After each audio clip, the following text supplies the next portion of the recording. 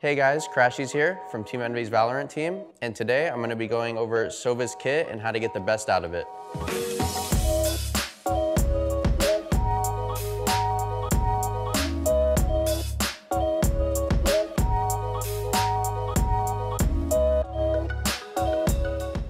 So guys, the first thing of Sova's kit that I will be talking about is his Recon Dart. It comes up every 35 seconds and it's super overpowered. Since it comes up every 35 seconds, it's super important to get it off at the start of a round. So for example, if they're not in B main here and you don't hear them, you wanna add a charge to the bounce and bounce it like that. If there's no one in B main, you could rotate. Um, you have shocks for mid, you have your Recon Dart, which will be coming up in about 20 seconds from now, because it's, it's already been like 10 seconds since you know they're not in, in main. Since it recharges every 35 seconds, it's super, super, super, super important that you get it off at the start of the round. I can't stress that enough. Um, I, I, watch a lot of Sovas that don't really know that you should be using his dart at the start of the round. Uh, they hold on to it for 45 seconds, 30 seconds, even a minute because they don't hear anything, but it, it's way more valuable just to use the dart um, just because you get guaranteed info and like I said, 35 seconds, you get that right off, right off the timer.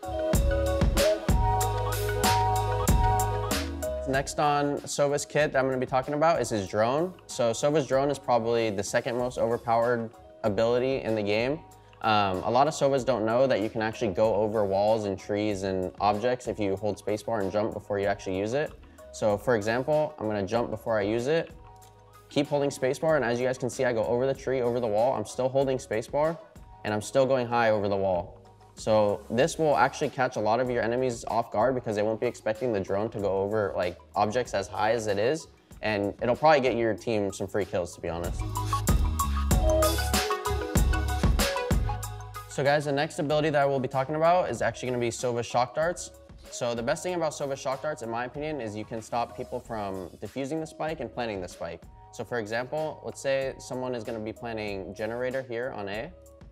I could bounce a shock off the wall and it'll shock them for 90 damage. So when they're planting the bomb, they're not looking at the at the generator, right? They're looking at like the wall. So they're gonna be able to actually see the shock bounce off the wall, which will either make them get off, which will get your team more time to rotate or you can fast hit or fast retake, or they're gonna just take the 90 damage and that's free 90 damage for you. And it's just free.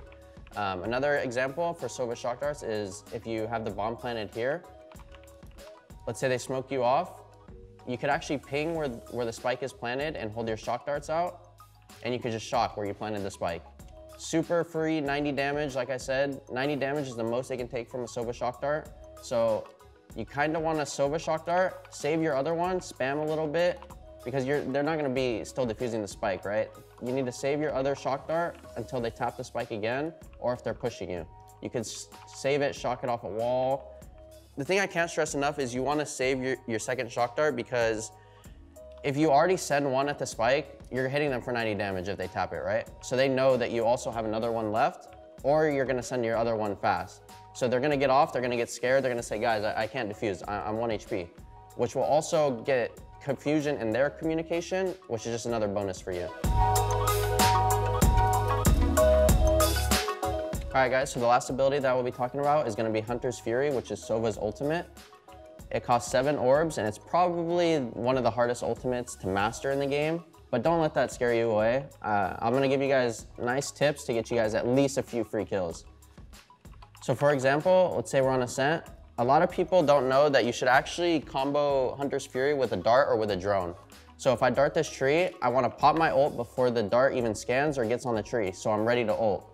It catches a lot of people off guard, they're not ready for it, they're looking up to shoot the dart, they're not ready for my ultimate. Um, another example is to use your drone.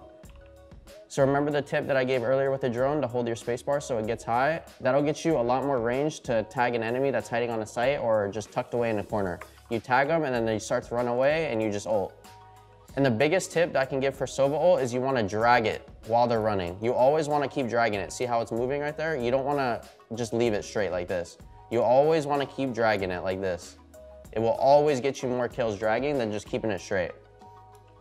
So guys, we've come to the end of the video and I'm gonna actually give you two kind of more advanced secret Sova tips that a lot of people don't know actually. So you guys are in for a little treat. So A really good one is adding two charges to a recon dart and having your team push with it. So for example, let's say you add two charges, right? And you full max charge because you want it to be annoying for the enemy team. So you'll do it like this and watch how it bounces.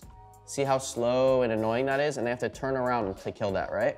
So while you're doing that, your team is here, they're walking up, and the dart, it hasn't even hit the wall yet. And the enemy team's looking at the dart, right? They're all like, oh my gosh, the dart, I have to kill it.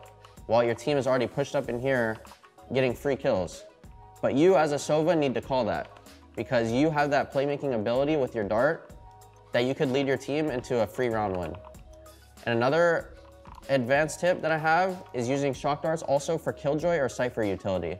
So let's say, for example, you know Killjoy or Cypher is playing B, and he has, let's say, a, a trip here, or Killjoy has his, her mollies and alarm bot. You could bounce it off windows, you could bounce it off walls, and it will destroy all the Killjoy utilities. So if you guys, if your team wants to hit B, you bounce it off the wall, you destroy everything that Killjoy or Cypher has, and you just run into the site for free, and, and they have nothing, and they're just calling their rotates over, they're panicking.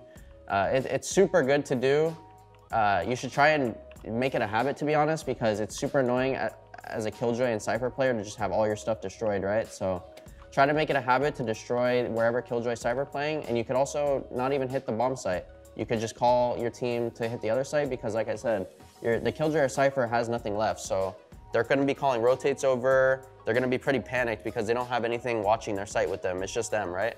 So it's it's super, super broken just to make it a goal of yours to break Killjoy and Cypher stuff in a round. Hey guys, thanks for watching. Hopefully my tips help you and this will definitely get you the most out of Sova's kit. Um, Sova's kit is probably the most, uh, I would say, intriguing to learn. So these tips and tricks will definitely help you in your next ranked game. Thanks for watching and like and subscribe if you want more content like this.